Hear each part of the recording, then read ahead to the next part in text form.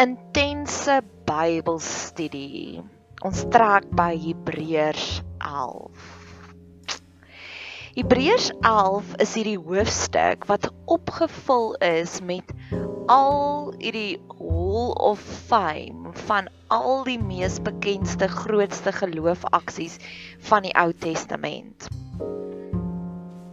Jy weet as jy in 'n skool is, dan staan hierdie borde in die skoolsaal om te sê hierdie was die hoofseun, hierdie was die hoofmeisie, hierdie was die doeksleerling. So hierdie is soos God se skoolsaal vol van rekords van die mense wat die grootste geloof uitgeoefen het. Ek het al keer op keer het ek hier in hierdie potgooi genoem van ons vriendekring DMW dames met wysheid.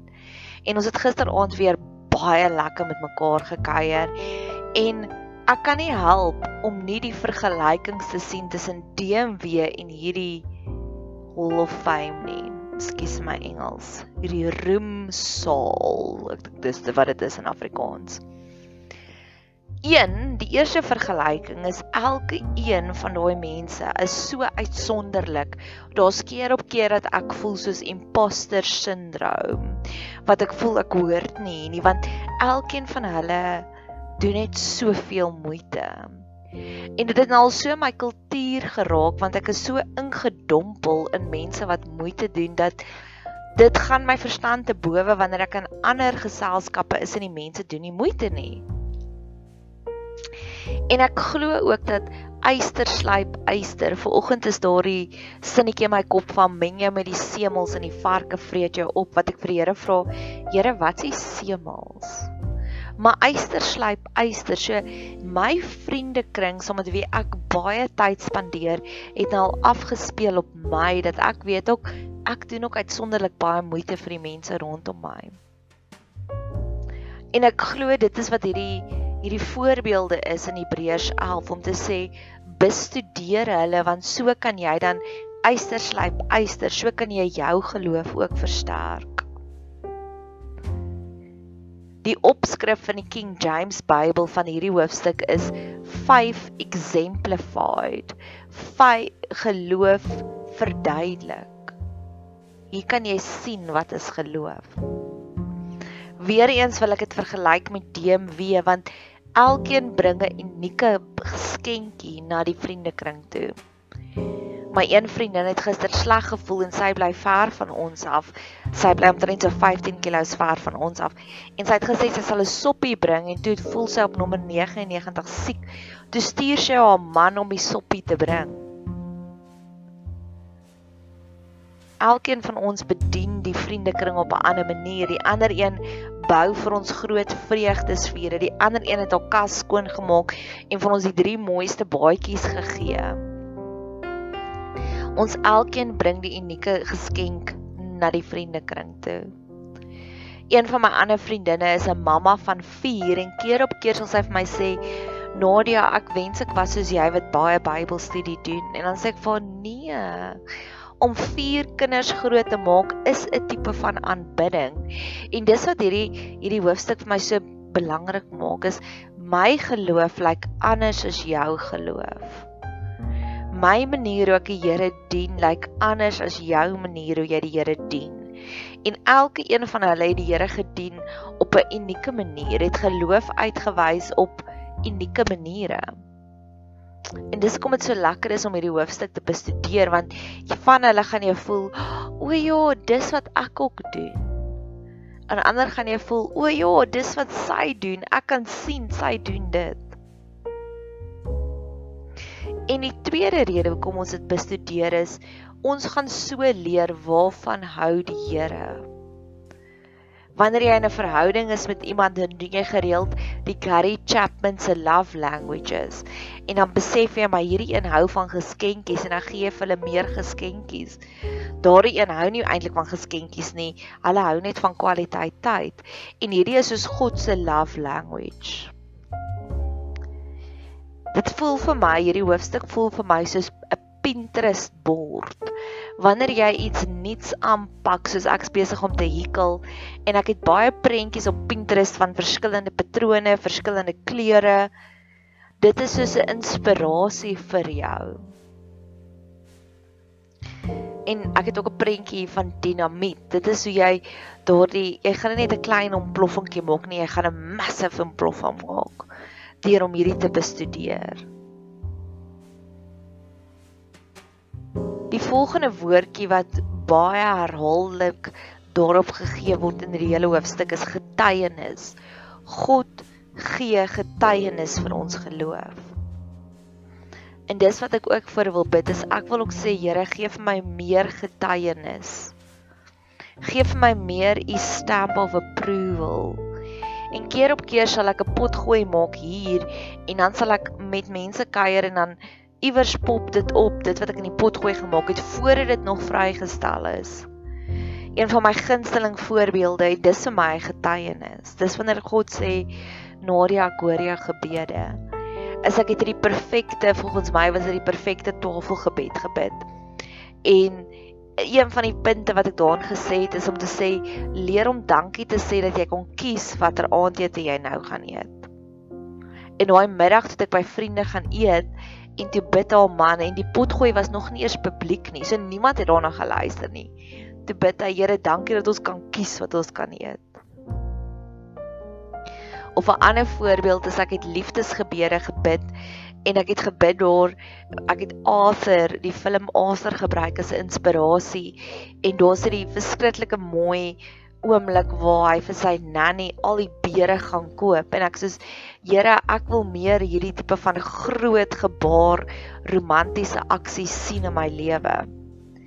En 'n dag later het my vriend vir my van Kanada af hierdie video gestuur van 'n beer wat hy afgeneem het in sy tuin.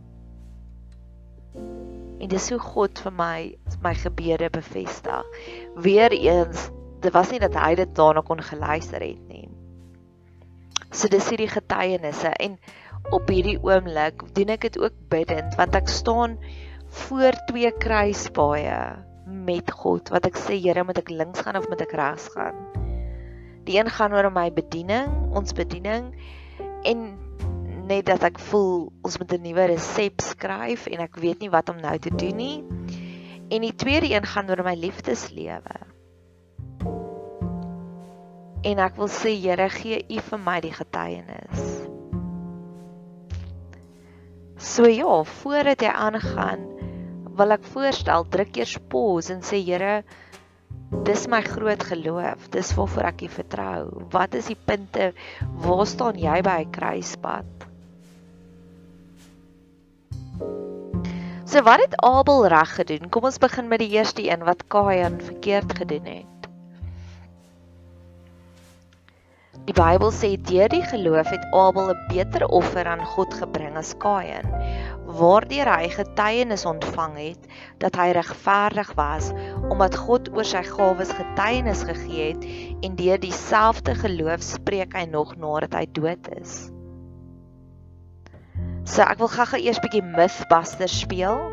Baie mense dink dis omdat Kain het 'n graanoffer gebring en Abel so Kain het 'n paar stukkies popcorn gebring springmielies en en Abel en Kain nee en Abel ekskuus het 'n ou skapietjie gebring. Dit was nie oor wat hulle gebring het nie want later in Levitikus sê God jy kan springmielies vir hom bring. En 'n springmielies gebed, 'n graanoffer gebed vir my vandag is in vandag se terme is fetching popcorn. Dis wanneer jy God vertrou vir so groot ding. Dis amper asof asof wat jy 'n film kyk dis my springmielies offer. Dit gaan nie daaroor nie. God sê ons mag graan offers bring. My teorie is en dit kan net Nadia teorie wees, maar vir nou is dit hoe God dit vir my geopenbaar het.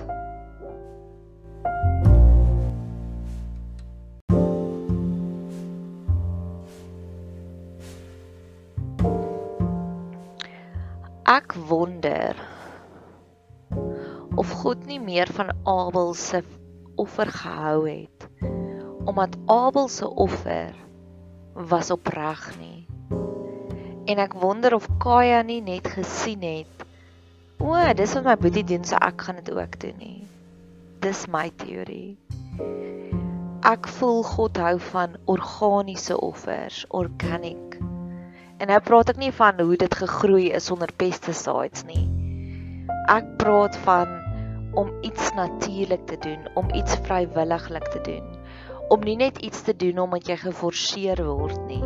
Om nie net daai tiende vir die kerk te gee omdat jy voel jy moet nie. Om baie keer te sê nee, laat die bordjie maar verbygaan. Vandag gee ek niks nie, want God het nie, nie dit vandag op my hart geruk nie. Ek hou ook nie van meganiese geskenke nie.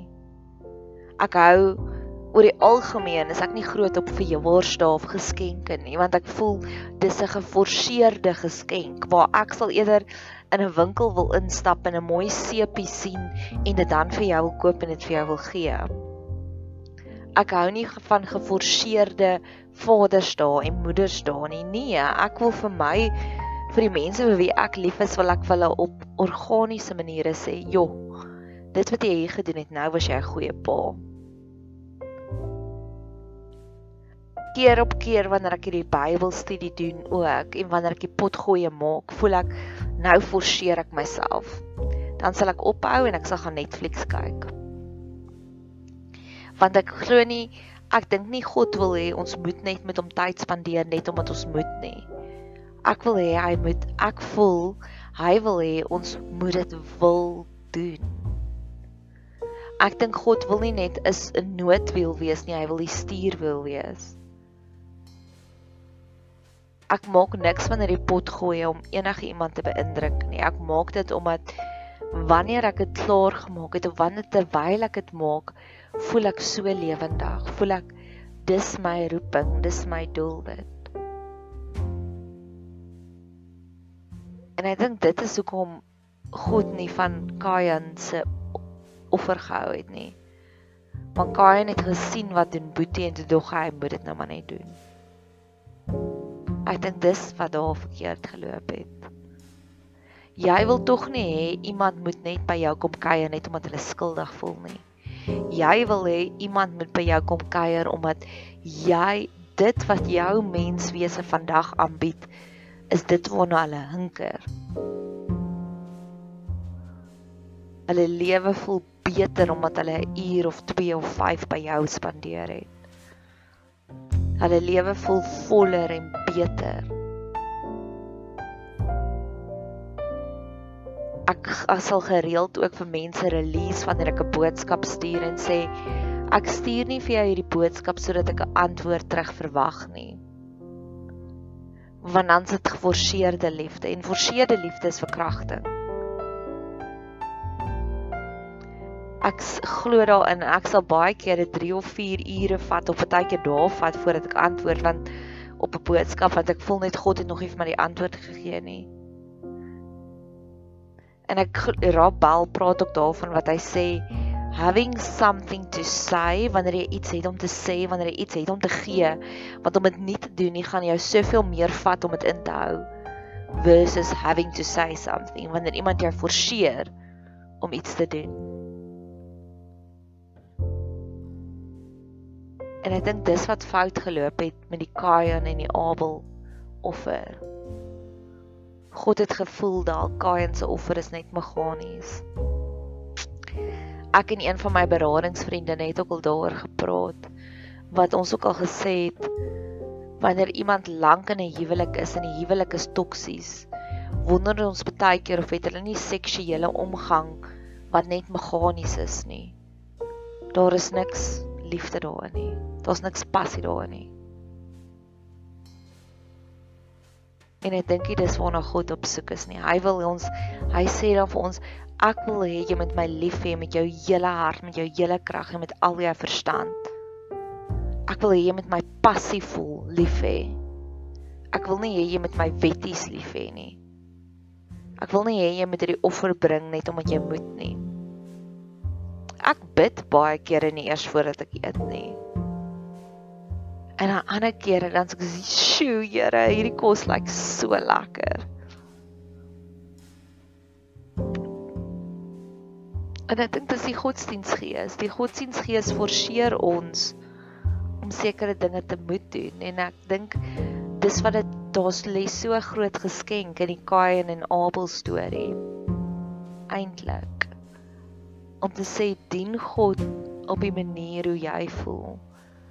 My een vriendin sal gereeld praise en worship onderhou by hulle huis. Dis glad nie my cup of tea nie. Maar ek sal ure in die woord spandeer en leer en dit gaan analiseer en prentjies maak teen my mure. So ja. Hierdie is die inleiding van Hebreërs 11. Mag dit jou geïnspireerd maak om net meer en meer te gaan kyk na die verskillende offers en die verskillende tipe geloof wat ons vir God kan bewys. Indien jy kinders het, sal jy ook weet jou kinders is verskillend. Die een is die drukkie mens, die ander een is die geskenkie een, die ander een is die mooi woordjies een.